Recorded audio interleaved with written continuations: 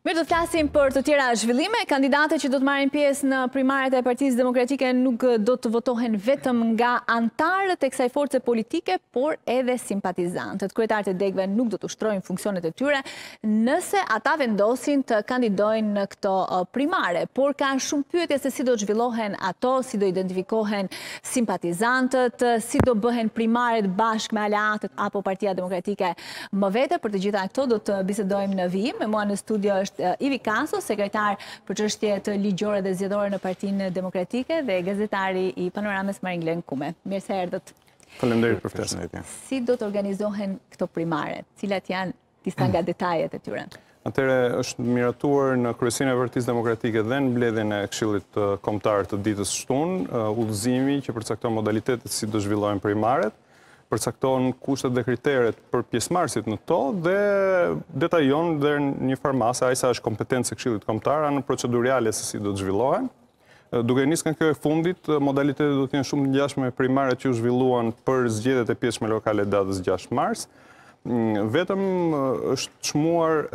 e udhës që të detajohen disa problematika të cilat u verifikuan në ushtrimin e parë të primareve që bëri Partia Demokratike për atë për zgjedhjet e pjesshme të 6 marsit, duke synuar që ato gjëra që nuk mund të them nuk shkonin, por që mund të shërbenin si burim konflikti midis kandidatëve, të evitoheshin për sa të ishte e mundur dhe të gjendeshin modalitete të tjera, domethënë tej atyre që u aplikuan datën 6 mars, në mënyrë që kandidatët e përzgjedhur nëpërmjet këtij mekanizmi të primareve të kishin një konsensus sa më të gjerë, siç e thatë edhe ju, duke dalë tej anëtarësisë dhe mhm. duke e kaluar, le të themi, këtë ushtrim të përbashkët edhe te simpatizantët e Partisë Demokratike, sikundër edhe statuti e përcakton. Po, të ndalemi një nga një për të analizuar këtë çështje. Po, Maringlen kishte Po, në fakt Ivi e nisi që nga 6 marsi, por mm. një e ngjashëm ka qenë edhe për zgjedhjet e përgjithshme politike, Që pati problemet e veta, edhe këto rrezikojnë që të kenë problemet e veta duke nisur që nga votimi. Në sistem është futur pjesa e balotazhit, që kandidatët të cilët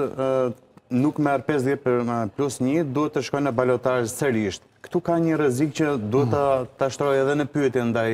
Ivit në fakt nga ndaj zoti Kaso, që si do të menaxhohen në qoftë se dy kandidatët ose tre kandidatët të cilët kanë marrë numër më të pak votash bëhen bashkë kundër këtij që ka marrë ndjeshëm diferencë nga dy të tjerët ose tre të tjerët, por që nuk ka marrë 50 plus 1 të shumës totale të votave të cilët kanë votuar. Kjo është rrezik që edhe në prag të zgjedhjeve mund të sjellë pra, një përçarje ose si do të menaxhohet në raundin e parë mund të humbasë në po, raundin e dytë. Dhe si do të menaxhohet kjo? Do të menaxhohet me skemën klasike të balotazheve në përgjithësi kur ka sistem zgjedhjeje mazhoritar dhe sistemi për zgjedhjet për organet e qeverisjes vendore është mazhoritar, synohet që të konvergohet te kandidati që ka mbështetjen sa më të madhe të mundshme. dhe në rastet kur në zona që kanë specifika të caktuara që do të kenë kandidatura që do të dalin përtej 2-3 kandidatura, mund të kemi fjala vjen 5 kandidatura, të cilët mund të marrin pjesa më e madhe 15-20% dhe dikush tjetër 25%, është çmuar e udhës të mos dërgohet ose të mos përzgjidhet për garën e ardhshme elektorale kandidati që ka një përqindje të lehtë më shumë sesa kandidatët e tjerë, pasi vota është e fragmentuar në këtë rast, Dhe mekanizmi që përdoret është i njëjti që përdoret në mbarë botën, është ai i balotazhit, i cili synon le të themi, jo vetëm që kandidati që synon të garojë në zgjedhjet e ardhshme të grumbullojë brenda forcës së vet, brenda anëtarësisë, brenda simpatizantëve, mbështetjen më të madhe të mundshme, që shkon mbi 50%, po dhe duke dhënë shancin në të kundërt të asaj që frikës le të themi, në thonjëza që parashtroi Marigleni, duke u dhënë shancin kandidatëve të tjerë ose pjesës së anëtarësisë që ata përfaqësojnë, që të gjejnë një konsensus dhe të bashkohen rreth vlerave që njëri kandidat që ata do të do të zgjedhin të përfaqësojë në garën e ardhshme. Pra i jep një mundësi bashkimi dhe kandidatëve ose grupimeve të tjera të interesit që kanë marrë më pak vota. Nëse mund të ndër... Më fal. Jo, patjetër, vetëm të specifikojmë pak, ka një numër të kufizuar sa do marrin pjesë në garë, apo jo? Jo, nuk ka një numër të kufizuar, është ngritur meqenëse përmendi udhëzimin e mëparshëm për zgjedhjet e kaluara të zgjedhjet e 25 prillit, është përzgjedhur një mekanizm i ngjashëm me atë që Partia Demokratike ka përdorur atëherë, pra një komision kualifikimi, i cili duhet të synojë që të verifikojë jo vetëm përmbushjen e kritereve formale të kandidatëve, por edhe të verifikojë atë staturën e lartë politike që kërkohet nga përfaqësuesi i cili do të përfaqësojë Partinë Demokratike dhe mundësisht edhe koalicionin e opozitës së bashkuar në zgjedhjet e ardhshme. Pra do të ketë një komision përzgjedhje dhe kualifikimi po. që do të jetë në këtë rast një organ ndihmës i kryesisë, nuk do të jetë vendimarës, por që për shkak të se ka një kufizim për shkak të natyrës së figurave që do të jenë në këtë komision, synohet të përzgjidhen kandidaturat më të mira pa patur një limit, le të themi, në zona të caktuara, po secila zonë ka specifikën e vet. Duke iu referuar edhe eksperiencës së mëparshme, po them të njëzet e pesë prillit, edhe në formë pyetje se kjo duhet të dimë të paktën kur fillon procesi i primareve, sepse duhen menaxhohen,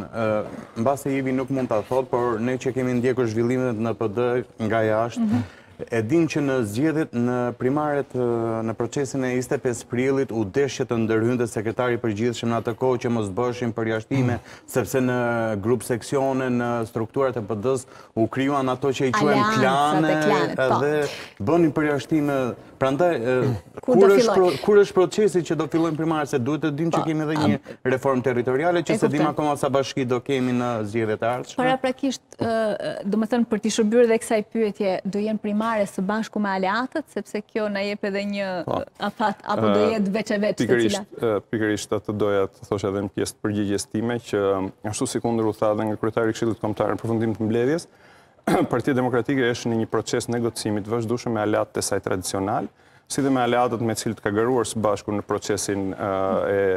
zgjedhjeve të pjesshme të, të 6 marsit, për të formuar një front të gjerë opozitar në mënyrë që kandidatët që do të përzgjidhen përmjet këtij mekanizmi, për të cilin aleatët kanë rënë dakord në parim dhe ngelen për t'u detajuar mhm. modalitetet, pra mekanizmit të primareve, të kenë mbështetjen më të gjerë të mundshme, jo vetëm nga anëtarësia ose nga simpatizantët e Partisë Demokratike, por të të gjithë partive që përbëjnë frontin opozitar. Prandaj skadenca jonë për sa i përket pyetjes për për ta lidhur te fillimi i primareve, lidhet me këtë moment të rëndësishëm që është përfundimi i procesit të negocimit dhe dakordësimit me aleatët, proces i cili ka filluar dhe është në vijim dhe sigurisht do të detajohet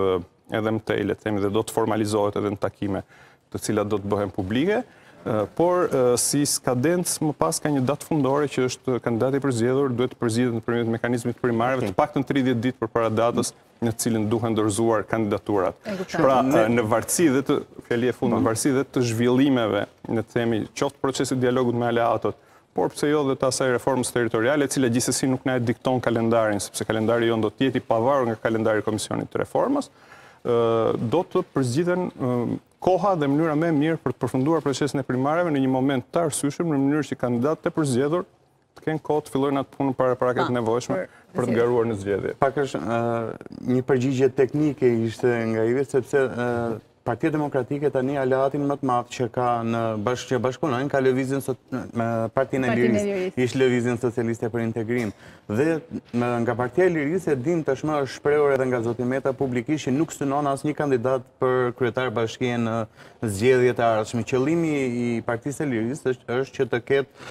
sa më shumë kandidatë për anëtarë këshilli. E thëna publike ndryshon shumë nga negociatat, i dini mirë ato. Ndryshojnë gjërat, kam përshtypje. Nuk besoj se asnjë parti, kur edhe partitë më të vogla, partia republikane, partia agrare apo parti të tjera duan, patjetër të kenë një kandidat, Imagjino Partia e Lirisë pastaj. Nuk besoj të paktën edhe edhe artikulimi artikulimi publik është ai që thotë Marigleni, por është e vërtetë ajo që thoni ju që negociatat në këto raste janë komplekse dhe derisa të thuhet fjala e fundit në to, pra derisa të detajohet një marrëveshje koalicioni, është pak e vështirë për të bërë parashikime. Sigurisht neve kemi shprehur gatishmërinë. Pra ka kërkuar publik, ka kërkuar jo në negociata zoti Meta kandidat për është ende është ende për të vendosur. Neve kemi shprehur në parim gatishmërinë që pavarësisht se jemi partia më e madhe e opozitës dhe le të themi në të gjithë zonat zgjedhore në të cilat do garojmë, qofshin këto 61 bashki ose qofshin këto më shumë, në qoftë se do të ketë, unë nuk besoj që të ketë, por në qoftë se do të ketë reforma territoriale ndonjë produkt, ne besojmë që i kemi kapacitetet që Partia Demokratike nga gjiri saj ose i mhm. personaliteteve rreth saj të garojnë me dinjitet dhe të kenë shanse të mira për fitore në të gjitha bashkitë. Por kemi qënë të hapur me të gjithë aleatët, pavarësisht peshës së tyre elektorale që, në varësi të specifikave të zonave të caktuara dhe të personaliteteve të caktuar të cilët ata mund të paraqisin për të marrë pjesë në garën e primareve, të futen me të njëjtat rregulla dhe pa asnjë paragjykim po, si me kandidatët e Partisë Demokratike. Shumicën e ka pra Partia Demokratike, shto dhe simpatizantët Bie që në primare të mos kenë asnjë shans kandidatët e partive të tjera. Unë besoj që nuk do të kishin asnjë shans në rast se primaret do të kishin ngelur të kufizuara vetëm te anëtarësia e partisë demokratike. Duke qenë që prej vitesh jam brenda një partie politike, duke ditur si funksionon, mhm. është shumë e vështirë për dikën nga jashtë që t'i nënshtrohet gjykimit të anëtarësisë aktive të një partie, aq më tepër një partie të madhe, mhm. aq më tepër një partie në vitin e nëntë të opozitës si partia demokratike, të ketë ndonjë shans garimi. Po duke hapur këtë sistem, duke hapur edhe simpatizantët i kanë më shumë në duke hapur këtë sistem edhe te simpatizantët, pra duke dalë tej gardhit të vet, unë besoj që edhe kandidaturave që vijnë nga partitë e tjera u jepet një shans real, po. sigurisht kjo e ponderuar me peshën e tyre ose me atë personalitetin e tyre qoftë edhe publik në zona të caktuara. Shqetësimin e shprehu në fakt Shqetësimi i shprehur nga demokratët është që ç'janë këta simpatizantë që hedhin poshtë mundin dhe kontributin e anëtarëve të Partisë Demokratike që thirren gjithmonë për të luftuar dhe pastaj në fund të vinë ca simpatizantë që nuk dihet të kujt janë dhe si janë për t'i vendosur kandidatët. Po e citoj këtë pjesën sepse. Të falenderoj për pyetjen që më jep mundësinë të sqaroj një gjë të rëndësishme lidhur me simpatizantët. Atëherë, Partia Demokratike simpatizantët i ka parashikuar në statut, qoftë në statutin që u miratua në Kuvendin e demokratëve datë 11 dhjetor, qoftë në statutin e mëparshëm, me modalitete dhe formalitete të ngjashme. Ka një përkufizim të qartë statutor se kush janë simpatizantët e Partisë Demokratike dhe janë ata persona të cilët me aq mundësi sa kanë, në mënyrë jo aq aktive sa anëtarësia e tjerë, anëtarësia aktive e partisë, mbështesin politikat e Partisë Demokratike po, dhe sigurisht janë votues të saj. Përpjekjet për evidentimin e tyre kanë filluar dhe janë konstante në çdo palë zgjedhje, kur anëtarësia e partisë ka detyrimin që në çdo në rang seksioni, në rang grup seksioni, në rang dege, të evidentojë ata që janë jo vetëm Pjesa e anëtarësisë aktive, regjistrat e të cilës i kemi, por dhe pjesë e simpatizantëve, të cilët janë votuesit e sigurt të saj, ose ata persona që me aq sa munden japin një kontribut për po. Partinë Demokratike. Mm. Por nuk mund të themi që është një ushtrim që niset nga zeroja. Detyrimi për të përcaktuar një regjistër simpatizantësh ka qenë si në statutin e mëparshëm dhe në këtë statut. Dhe sigurisht në degë të caktuara, ky proces ecën me shpejtësi të ndryshme. Por mund të them që Shansi për t'u dhënë simpatizantëve të drejtën për të votuar në procesin e primareve, do të na japë një dorë të madhe dhe në evidentimin e plotë të tyre dhe në hartimin përfundimtar të këtij regjistri, të cilët më pas, fjali e fundit, do të pajisen edhe me një kartë të ngjashme me kartën e anëtarësisë, nga e cila burojnë të drejta statutore, por jo të njëjta me ato të anëtarit, i cili mund të garojë, mund të zgjidhet në strukturat e partisë, mund të votojë për organet drejtuese të partisë, të drejta të cilat nuk i kanë simpatizantët e të tjera. Pra ka një diferencim të qartë statutor dhe jemi në një proces formalizimi edhe të pjesës së simpatizantëve. Ka një rrezik, ka një rrezik Ivi që të hyjë në lojë kundërshtari politik duke futur këta simpatizantët nga u këtëja, nga u shëja, nga të gjitha... Sepse ju i njihni simpatizantët e PD-së, po s'i njihni simpatizantët e LSI-së, për lësë, për lësë, Dhe të zgjedhin kandidatin më pak të preferuar, më pak të fortë, po themi... është një rrezik të cilin e kanë artikuluar ajo pjesë qoftë e kryesisë, qoftë e këshillit, qoftë e Këshillit Kombëtar, mhm. të cilët kanë bërë jetë aktive partie dhe janë marrë dhe me probleme organizative. Sigurisht, asnjë proces s'është i parrezikshëm. Po unë besoj që zgjedhjen e guximshme demokratët e kanë bërë datë 11 dhjetor ku me anë të statutit, jo me anë të vendimit të ditës së shtunë, mm -hmm. por me anë të statutit iu dha e drejta e votës për primare, pra qoftë për uh, organet e qeverisjes vendore, qoftë për zgjedhjet për kuvendin, krahas antarësisë edhe simpatizantëve. Pra zgjedhja e guximshme është bërë. Por kjo është për partinë demokratike. Sigurisht, sigurisht juve do futeni edhe me aleatët. Sigurisht, detyrimi jonë nga ana tjetër është që të përcaktojmë modalitetet në mënyrë që ky proces të bëhet sa më i sigurt edhe me sa më pak abuzime, sepse proces perfekt në një parti të madhe me antarësi dhjetra mijëra antarësh aktivë dhe me një numër prej ndoshta qindra mijëra simpatizantësh nuk mund të jetë një proces perfekt, por siç e thashë nuk nisemi nga zero në këtë, kemi informacion të detajuar në rang dege, mhm. në rang grup seksionesh, në rang seksione, për partinë demokratike, për po partinë demokratike, dhe duke punuar, sigurisht, Jemi duke punuar për një sistem regjistrimi elektronik, ashtu sikundër e përcakton udhëzimi, paraprak, pra që do të jetë edhe online për gjithë simpatizantët, krahas regjistrimit në strukturat formale të partisë, pra në degët e në seksionet, i cili do të na japë mundësinë që krahas regjistrimit të tyre, grupi i punës në qendër i përcaktuar për këtë qëllim, me ndihmën edhe të teknologjisë dhe database-ave që ne disponojmë dhe të atyre të aleatëve, të bëjmë pra, konfirmimin, të bëjmë konfirmimin, jemi duke bashkëpunuar me ta, në mënyrë që të bëhet një konfirmim paraprak i personave të cilët do të vetëdeklarohen simpatizantë dhe do të regjistrohen nëpërmjet aplikimit të posaçëm i cili është duke u përgatitur dhe do të jetë shumë shpejt online. Pra do të ketë proces filtrimi, pra që sa kemi mundësi si mhm. parti politike, sigurisht ne nuk Kemi resurset e shtetit, resurset e mazhorancës, resurset e patronazhistëve, por me aq mundësi sa kemi dhe duke pa dëshirën e mirë dhe guximin për të bërë diçka ndryshe, do të bëjmë çfarë është më e mirë e mundshme. Në fakt deri tani kemi dëgjuar për negociatat me aleatët, por duhet të dimë që kemi edhe një grup të ndarë të Partisë Demokratike të tjerë, me ata si do të veprohet, si do të procedoni, do të ketë një grup që do të negociojë me ata? Kemi pasur reagime publike që pas miratimit të rregullores për primaret që kanë reaguar e kanë quajtur një një ndarje më vete që kanë miratuar procesin pa patur një dakordësi një dialog të tërë pra po lini gjysmën e partisë jashtë po themi ndërkohë që kërkoni të merrni simpatizantë të partive të tjera unë nuk e shof kështu nuk po lëmë askënd jashtë është një udhëzim që përcakton rregulla të hapura parimore për këdo që të garojë Cilido që do të garojë, madje kriter nuk është as anëtarësia në Partinë Demokratike, pra është e hapur për cilindo personalitet që ndan vizionin dhe ndan ato përpjekje të Partisë Demokratike dhe të aleatëve të saj për t'iu kundërvënë në çdo formë dhe në çdo mënyrë kësaj qeverisje. Pra nuk besoj që udhëzimi ka një pikë të vetme ose një presje të vetme që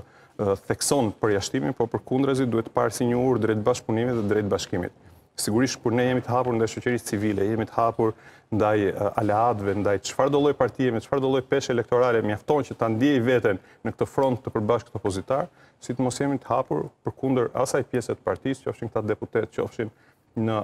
funksione të tjera, të cilët duan që nëpërmjet këtij mekanizmi të hapur dhe demokratik që nuk e kemi shpikur ne, po që synojmë ta perfeksionojmë, të garojmë të gjithë së bashku për të gjetë kandidaturat më të mira, ata që i garantojnë opozitës së bashkuar shanset më të mëdha po. të suksesit. Prandaj unë do ta shifja, nuk kam dëgjuar këto artikulime të cilat ju thatë, Por në Facebook kanë qenë personalisht, reagime... unë personalisht e shoh si një mundësi të shkëlqyer bashkëpunimi, si një urë bashkëpunimi, pra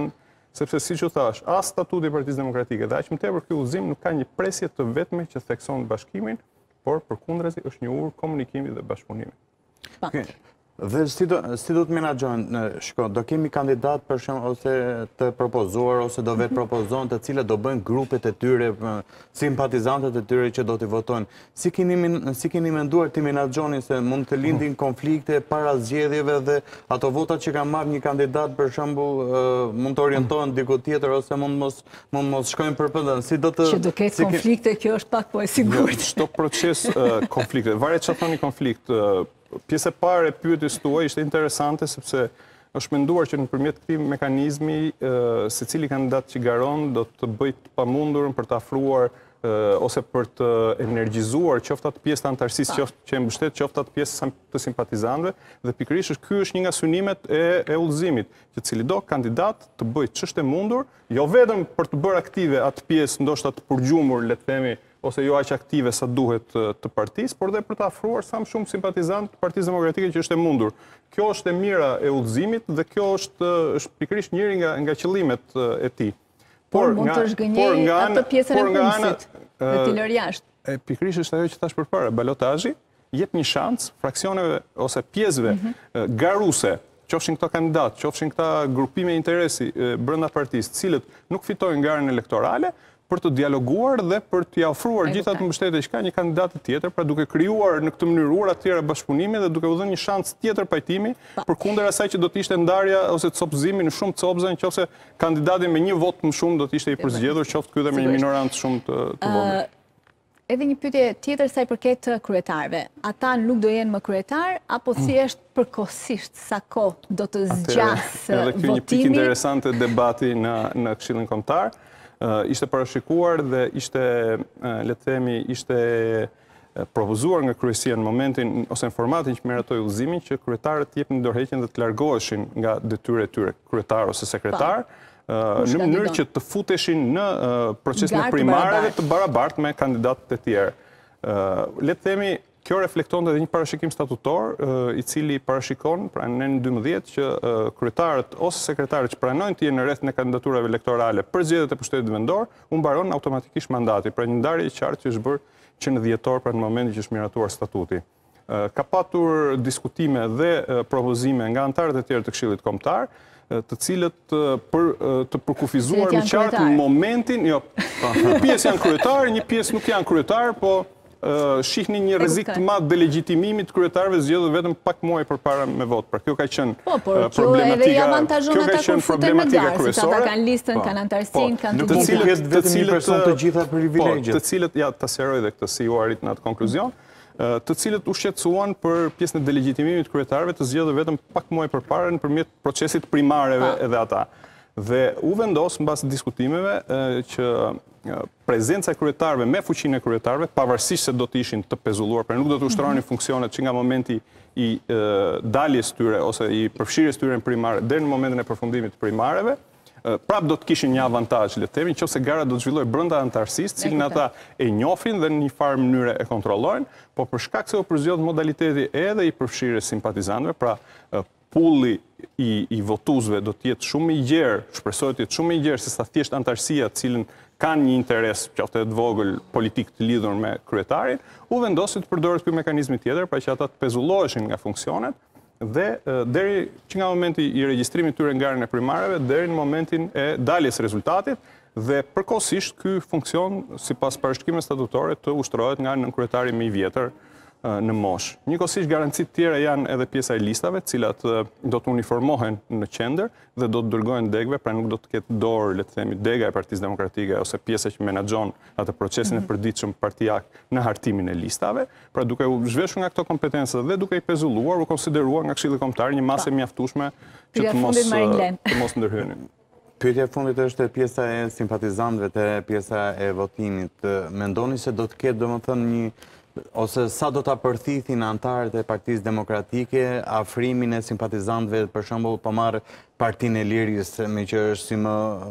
kanë qenë më majtas, se pastaj aleatët e tjerë kanë qenë gjithmonë ose në qendër ose më më pranë jush. Sa do të përthithet, pra mund të krijohet edhe pakënaqësi nga kjo nga kjo pjesë që të vendosin simpatizantët ose anëtarët e partisë tjetër për kandidatin e tyre për bashkinë. Unë besoj që kushdo që do të regjistrohet simpatizant, do të përkushtohet ose është i përkushtuar, për le të themi edhe formalisht, për të ndarë vizionin, programin, planin e punës dhe mbi të gjitha planin e përballjes Partisë Demokratike dhe të opozitës së bashkuar, pasi një rrugë e gjatë përballjeje dhe sakrificash na presin, nuk jemi pranë fitores, pra nuk është se është një moment i cili synon që të ndryshojë balancën e pushtetit në vend, por se gara elektorale për organet e qeverisjes vendore është po aq e rëndësishme, pasi është një bazë e fortë për zgjedhjet e ardhshme, pra nuk është momenti në të cilin të përvijohen rivalitetet qoftë midis anëtarësisë, edhe qoftë midis simpatizantëve, por është momenti që cilido anëtar dhe simpatizant ta bashkojë, që ta shofi me këndvështrimin që të bashkuar ky grupim ose kjo armatë e cila është e thirrur për votë, do ta ketë shumë të lehtë që edhe të përballet nesër në protesta, në beteja e tjera që na presin, pasi siç thamë, ky plan i veprimit politik opozitar është shumëplanësh në këtë moment, nuk parashikon vetëm primare, nuk parashikon vetëm protesta, nuk parashikon vetëm betejë në parlament, por Partia Demokratike është duke vepruar në të gjitha këto plane njëkohësisht dhe shumë shpejt sfidat do të jenë kaq të shumta saqë nevojitet çdo dorë, çdo zemër e mundshme, çdo person i mundshëm pa u pra, futur në këto rivalitete, në rivalitete, jo nuk kemi, nuk kemi shkrirje partish. Çdo parti ka individualitetin e vet, ka programin e vet. Ajo që na bashkon është beteja opozitare pa kompromis kundër këtij regjimi, prandaj të fokusohemi te kjo dhe rivalitetet nëse do ketë le t'i lëmë për më vonë. Faleminderit shumë që ishit me ne. Faleminderit juve për ftesën.